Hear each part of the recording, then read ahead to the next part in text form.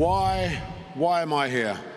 Uh, I'm here because agriculture isn't considered sexy, but my wife thinks I am. British actor Idris Elba and his wife Sabrina took the stage in support of the UN's International Fund for Agricultural Development.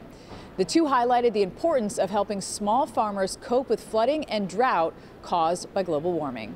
Think about what it's like to be a farmer, working from dusk till dawn, and then watching your entire year's harvest wiped out because of essentially climate change. And it is deeply unfair that the people who contribute so little towards climate change are the ones that bear the brunt of it. The Elbas added that 80% of food is produced by small scale farmers, and these farms use less fresh water and contribute to biodiversity. Every time we eat, we are making a conscious choice about the world that we want to live in.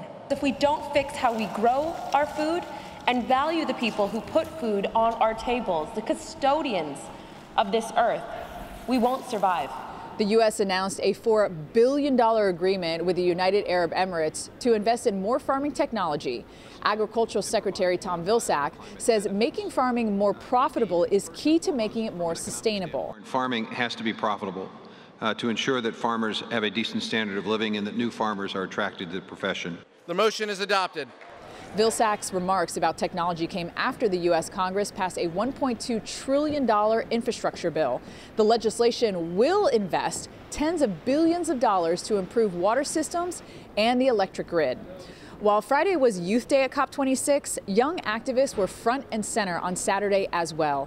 Climate activist Vanessa Nakate spoke about adopting more sustainable farming practices and hardships in her home country of Uganda. The child going hungry at night matters. The mom who has to walk long hours to find water to look for food for her family matters.